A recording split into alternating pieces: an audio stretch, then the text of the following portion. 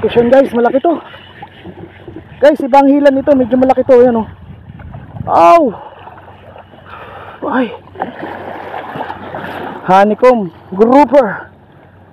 Good size to mga master. Good size ito. Uy, uy. Teka, teka, teka. Wop, wop, wop, wop, wop, wop, wop, wop, wop, Wop, wop, wop, wop, wop, wop. Wop, wop, wop, wop, wop, wop, wop. Kita nyo master? Ha, iba-iba ang size niyan. Oh.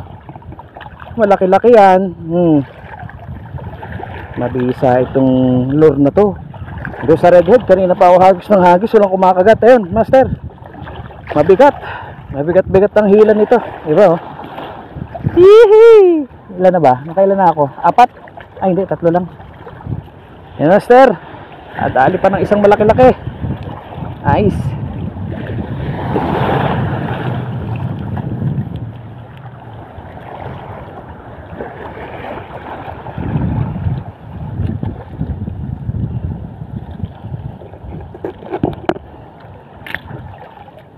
Hihi! Ayos, ayos! Ay, dito na nakuha ng actual na huli. Dito na sa malapit kumagat. Checkered snapper. Dito na sa malapit kumagat. Ang checkered snapper. Ayos din oh. Lakas sumilay. Whew! Vision! Ilang minuto na lang, uwi na ako. Mag-aalasin ko na.